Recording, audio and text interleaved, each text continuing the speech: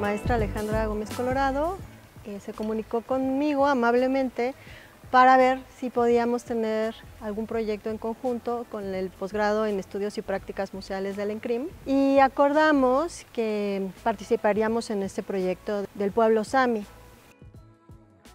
Todo el equipo, tanto de profesores como de estudiantes, nos hemos aproximado gracias al trabajo curatorial del maestro Reinier Valdés, porque él se convierte en el experto que nos da la información para interpretarla. A partir de una metodología que trabajamos en la escuela, se va desarrollando museográficamente. Esto quiere decir que se van eligiendo diferentes maneras de representar cada uno de los temas.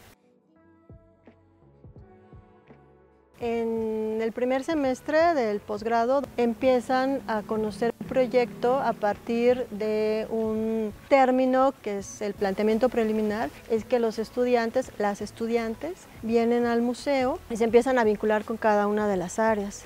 Es un trabajo de campo que les permite conocer el contexto en el que se va a desarrollar la exposición y es un trabajo muy integral porque por un lado las estudiantes se están involucrando con proyectos de la vida real, pero por otro lado las áreas se han dado el tiempo para explicar, para dar a conocer, para dialogar con las estudiantes.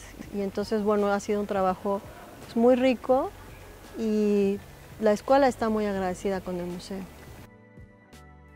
El proyecto no es para producirse, montarse y esperar a que pasen los años, sino que es un proyecto que se va a seguir alimentando. Esos son proyectos pues de largo aliento y eso también nos interesa mucho como para en otra generación volver a entrar y entonces lo que ya se hizo poder rediseñarlo y en fin como tener una participación sostenida, ¿no? permanente con, con, el museo y la escuela. Esa es, es la idea y ese también es el espíritu que, la directora de este museo, Alejandra Gómez Colorado, nos ha propuesto y que pues acogemos con mucho gusto y alegría porque finalmente pues es uno de los principales museos del instituto y la escuela, la ENCRIM, siendo una de las tres escuelas de Lina, pues también tiene como un lugar natural ¿no? donde poder desarrollar la formación de los propios profesionales que estarán trabajando para esta institución o para cualquier otra.